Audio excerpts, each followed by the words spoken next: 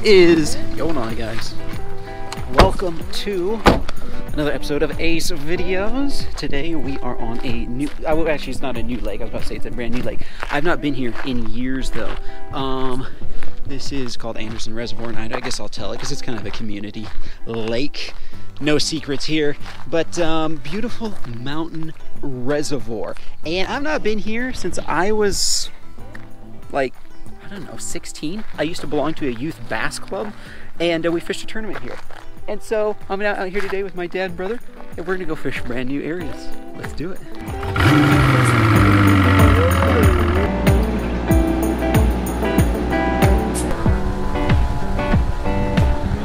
So with us today is my uh, brother Micah from Get Busy Living Videos. Linked his channel in the description. And uh, You want to mash that link and then mash the subscribe button when you get there. okay, okay, go check out If you his love channel. yourself. And um, I also have subscribers sending stuff to him through my PO box. Also, And then if we you want have- to send me anything, use his PO box. Then we have my dad. Is out here with us today. Just us three on the boat. We have a chance of kokanee today, which is a real interesting uh, thing. Um, if we feel like trying to catch some kokanee, but mostly we're going to target bass. And then, of course, you always catch some random trout when you're targeting bass. So bass, trout, kokanee, the three main species today. Guys, you have the brand new Ace Videos tackle box. Link in description. Actually, I should stop saying brand new after it's been out for weeks. But if you guys want to check it out in the description below, six of my favorite tubes, only 20 bucks, which is cheaper than if you went to the store and grab, tried to pick out all of these colors. I'm going to start off with this, uh, my favorite smallie color, changeable craw in there. And uh, this orange one, though, might come into play because I have a feeling that the Cronus actually might be more orangish. We'll have to see. We'll have to see. But I'm going to start off with this one just because this is my confidence tube. All right, guys. I'm actually using, this is a funny story. I have this old Shimano Sahara, which I probably used back when I first fished on this lake. I've had this reel since I was 12 years old. You actually got it for me for my birthday back Oh, is that right? when I was 12. And she runs a little rough, but uh, I'm pretty fond of her look. You can see like like things are chipping and like the whole plate is gone there and stuff. But uh, I still- that is a long- uh huh, yep, using them all the time, every week, pretty much. Uh, Shimano Sahara is a good reel. In fact, I'll put a link to a Shimano Sahara reel in the description if you guys want to check them out, because they have lasted me a long time. You can kind of hear the grinding. That's no problem, though. No problem whatsoever. A happy little grind, A happy little grind, yeah. There are no problems here, just happy little grinds. Oh, the camper. Got him. You got a fish? Yeah. Yeah, it's a solid one. That's a solid. It was like under the boat. Can somebody get the net, please? I get the net. Woo! Where do you want it? Right up here. No, no, up here, up here. No, wait, it's right in the back of the boat. I'm a master netter. yeah. I've got a master's degree in netting. That was a four-year school. Dude, this is a good fish. That is a good fish. Come on, bring him to. Ah, yeah. Yes! safe in these Oh man, look at that! That's porker. What a start, guys! Woohoo! Look at that big smallie! Woo! Whoa, guys, look at that bronze back. You should weigh that one up, bro. Let's keep Oh, it yeah. down. Lay it up, yeah. I, I say we do a um, some kind of a challenge here, gentlemen. Little tournament. Yeah. I don't mind doing a tournament after Big catching a fish? fish like that. Three pounds even. No. Three pounds even, guys. Woo! That's what I'm talking about. Wow. This is nice.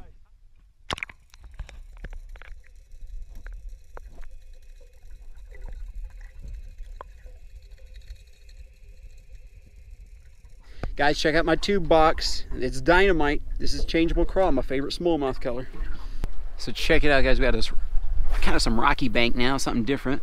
Fish all along those flats, but we only scored a, solitary fish. Good one. Uh, it was a good one though, a hermit fish. Got one. No way. Mm-hmm. You guys just ain't living right. Ooh, it feels like another. Bank, wasn't it? Uh, that was that was right on that rock pile right there, guys. Kidding. Woo! Do you need a net, bruh? I think I got this one. It's not This is in on- just number- ooh. It's not a big one, but it's a solid fish. Solid. Water is clear. Whoop. Oh, he choked that tube, guys. Choked it. Did that fish want that tube or what, guys? Ooh, this is gonna be one of those ones. You know, we're gonna have to do that little line trick And then, ooh, this is tough. This is tough. Got to pull it the other way. And there we go, tube comes out. Gosh, look how skinny that fish is. That's definitely spawned out. Maybe I should keep and eat this one. There you go. It is 12 inches. That's like the perfect eating size where it's not a giant. It's like 12, 13 inches and it's really skinny. It's probably a male or a spawned out female. We're gonna keep this, guys. We might eat this one later if we don't catch a trout or something. Let me take our bucket and we fill her up for the smother. And there we go. We got our little uh, prisoner there. Let's see if he makes the chopping block though. He's not dead yet. All right, guys, me and just gonna jump off on shore and he's gonna go look for some morel mushrooms up in this uh, little draw here. By the way, the reason I call him me ancient, there's an interesting story behind that. So several years ago, I was watching this old BBC series called The Pickwick Papers, and one of the highlights for me was the funny relationship between Sam Weller and his father. And at one point in the series, Sam sees his dad and addresses him thus. It's Sheldon. It's my father. How are you, me ancient? Uh, this is my master, Mr. And at that point in the movie, I turned to my dad and said, I'm going to start calling you me ancient, just as kind of a joke. And I called him a couple times me ancient just just for fun when we were together. Uh, and eventually it stuck. Uh, I didn't like calling him my olden, but me ancient seemed funny, and that was the one that stuck. Great pair of shucks. You have made an uncommon fine oyster if you'd been born in that station of life. I dare say I should have managed to pick up a good living. There we go, evidence of crawdad. Well, let's head on up. All right, I made my way up. There's a, there's not morels. There's some mushrooms there. That's a good sign. I don't know. I've never hunted up morels in Idaho, but I know we have them. I bought them before, and uh, there was a fire up here a couple years back. So they say after a fire, it's the time you go you go hunting for them. You can kind of see the blackened tree here. It's dead. All right, another mushroom. Again, not the right kind. I don't know what that is, so can't eat it, but it's a good sign. They're coming up. Well, there's elk sign right there, elk scat. One of them bedded down here. Doesn't look too recent, but the last few days, I guess. Trying to come come up quite a ways. You can see. We'll keep going up a ways, see if we can't find something. But uh, telling you guys, we got to be coming up on some here pretty soon. There's another mushroom. I don't know if you guys can hear it, but inside this tree, there's something tapping. That's crazy. I wonder if it's something that got in up high, can't get out, but you can hear it.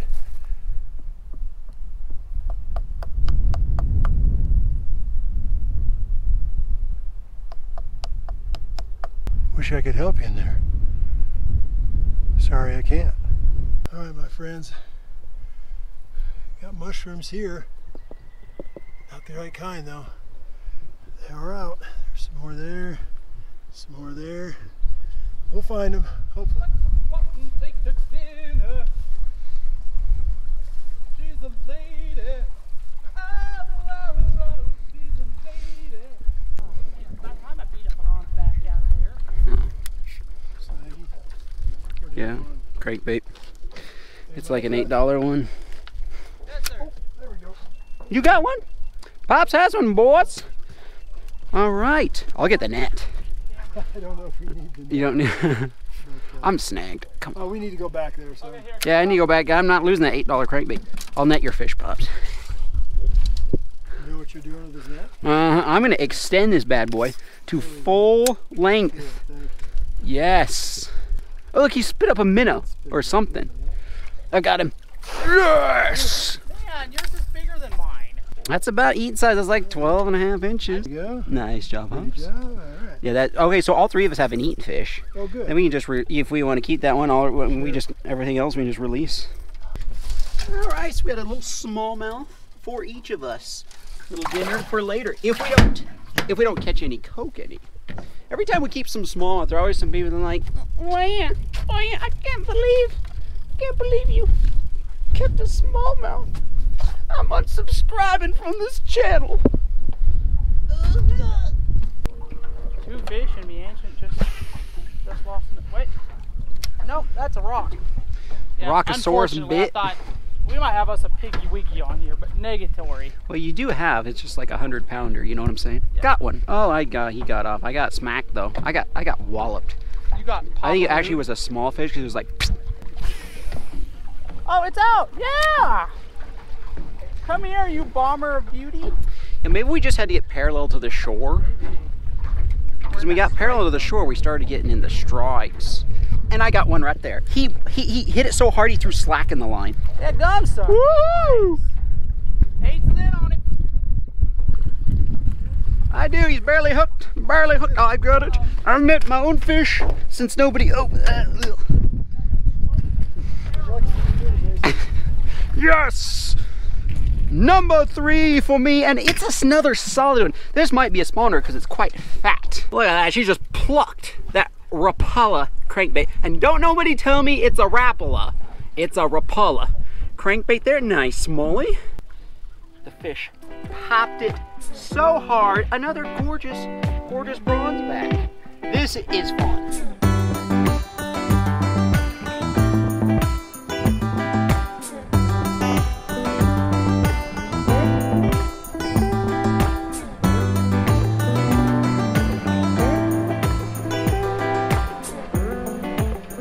Sticks up here in shallow water. Top water. Top water time, is that what you said?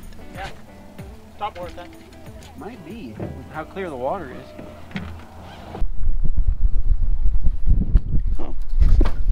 Oh, thanks, bro.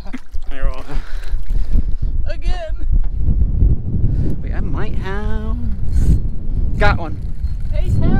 Yes! Right up, cast it. up. That was first cast up on the flats. You need a net? Um, no, he's not that giant. Nice. That's right, bro. Right up in nine, like nine feet of water. Oh, he choked the tube. Guys went back to the tube. Got a fat one. This might be a spawner. Yes. Tube. Dry Creek tube, guys. Dynamite.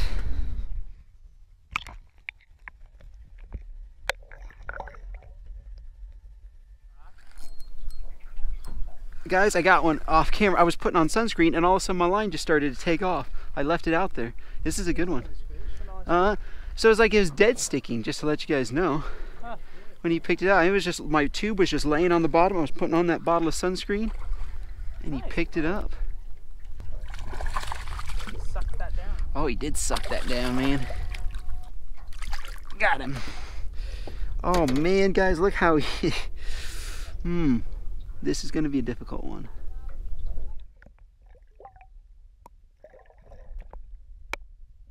Folks, it's cooking time. We still have a lot of daylight left, but I'm just really hungry, and some fried bass sounds delicious. So, we have here, hidden behind the seat, our cutting board. I'm Just gonna do basic fillet job on this bad boy. Good clean fillet job there. Drop him down for the catfish. Guys, check it out. The smallmouth. This came out of its stomach as I was bleeding it out. This little tiny. That looks like a perch to me. A little baby perch. Yeah, I'm pretty sure that's a perch. Interesting.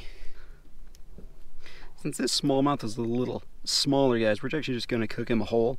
I've scaled him and then gutted him and took the gills out. So we're just going to, whoa, I almost dropped him in the water. just going to keep him like that.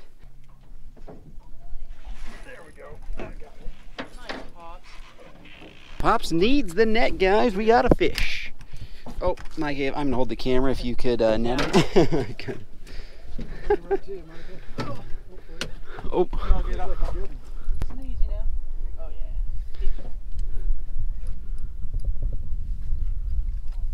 oh, nice, Pops. Nice. Thank you, sir. That is a solid, that's probably two, a little over two. That's on that. Cool. Old Ugly? What is it? I don't. Oh, it's uh, it's called changeable, craw. Changeable Yeah. Craw From Dry Creek. That's Sweet. a spawner too. I can fish. Got Yeah. a belly on her. She's got. Nice. It's fat. Beautiful pops. She's Do you want to weigh her up or you good? Um, it's not going to beat Aces. So. And here we are, folks. We got the old smallmouth laid up. We got a couple of potatoes because we're gonna make some chips, fish, and chips. Pot for boiling. Pure vegetable oil, pepper, and a mystery seasoning sent to me by a subscriber from Alaska.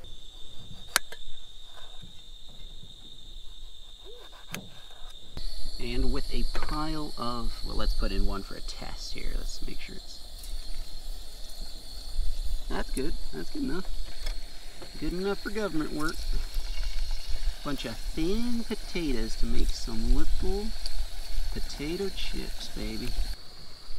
Look, it's so so thin that light comes through. The thinner you can make them, the crispier and crunchier they will be. Guys, it is time to reveal the mystery spices from Brandon Nanook from Alaska, Anchorage, Alaska. Thank you very much. It is Brandon's new favorite. Thank you, Brandon. It is called Alaska Kodiak Cajun. Pop the sealer. Ooh, it's nice and red, kind of an orange, orangish red color down in there. We are going to sprinkle this right on the fish there. I actually forgot breading, guys. Forgot breading for the smallmouth for frying this up. But this stuff looks like breading. It's very, it's like kind of thick and grainy. And so I think we should be good. I did not plan that, but. Um, I've got flour if you want. You got flour? Yeah, I've got flour, bro. Oh. You Oh, want to put like some seasoning in the flour and put it on there? I don't know. you know, I'll take a little flour, please. Yes. All right, my brother just gave this to me. He saved me. All right, so that'll make it a little better. We'll add a nice little crust. All right, so we got those all floured up, and then then we'll sprinkle this stuff on as a nice coating. Now we will check our potatoes. Ooh, they are looking good, looking good. Just starting to get crispy there. Just a minute or two more. Should be perfect. Woo! That's what I'm talking about. Look, that one's even like it's kind of has a bubble in it. A crispy crunch. There we go, folks. Nice little plate, and we're just gonna put some a lot of salt right over there while they're hot, so that the salt kind of sticks to them. Got salty chips. You know what? Right before we well, before we sample those, let them cool just for a second, and we will take these fillets. We'll stick them right in there. Boom. Just like that, folks. And we added a little black pepper to them too. So we have salt and pepper chips. You guys want to try some salt and pepper chips? Sure. Is that the big? Yeah, that's a big. Thanks, Brad. Wow. Good stuff. Oh yeah, Oh yeah. that's tight, bro. Thank you. Good stuff. Mmm. Mmm. Mmm. The crunch. That's what I'm talking about. Guys, this is one of those camping meals anybody can do. And just bring a potato with you. Potato and salt and pepper. And you already have salt and pepper with you if you're cooking fish. Have little fish and chips. It's so fun. I highly recommend. You guys should try this yourselves. Ooh, it's falling apart, folks. Folks, with this smallie, I realize he's not going to fit completely whole in there, so we've taken the, the head off, and I'm going to cut the tail off as well. Alright. Get him good and breaded. Oh, Pops, would you mind taking the lid off to my... Because my hands are all... There you go. There we go. And there we go, my friends. Final smallmouth in there.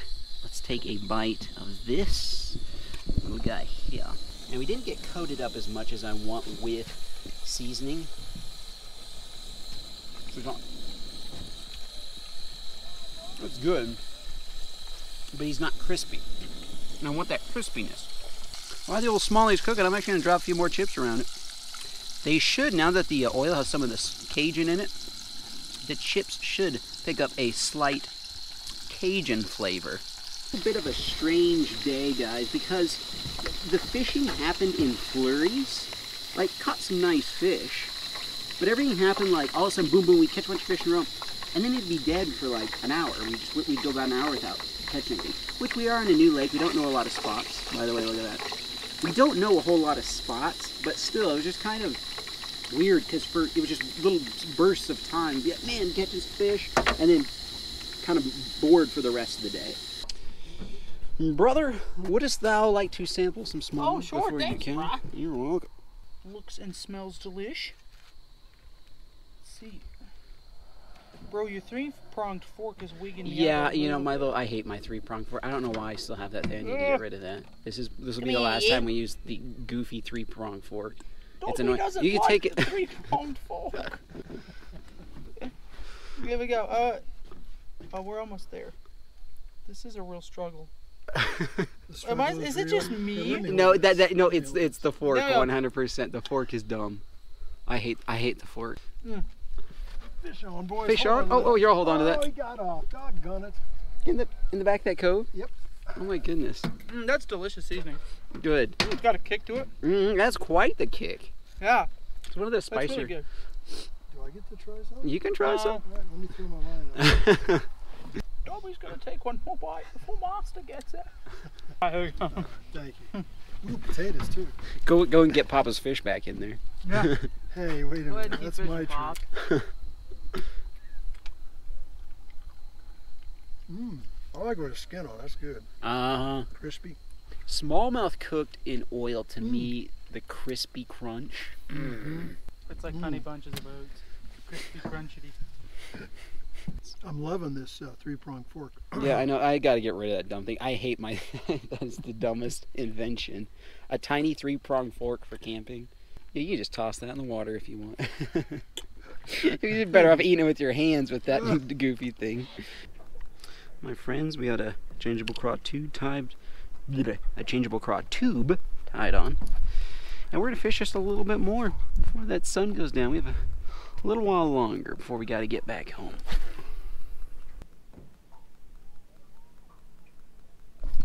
Got one. You did. Yes. Yes. Yeah, you saw you saw that too, like the thump. Nice. You're just dragging it behind. Mm-hmm. So I'm just gonna drag it across this expanse of flat. If they're spawning, we're getting ready to spawn and just kind of cruising around. It's kind of luck of the draw as far as just covering water with it. That is so cool. Nothing like smallmouth on a tube, man. Only thing better, is smallmouth on a top water. But guys, man, on that changeable craw color again. If you guys haven't gotten my tackle box, gotta check it out. Shameless. Shameless. Yeah, I, don't, I just, it'll really help you guys catch more fish. I mean, they're just gobbling this thing. Well, guys, thank you so much for hanging out today. Bro, good job on a nice three pounder, bro. Well, thank you, thank you. That was that was my biggest bass of 2020, guys. Pops, thanks for coming Hey. here. Good time, good fish, Good good, time. chips. Good fish, good food, good company. Thank you guys for hanging out. We'll see you in the next one.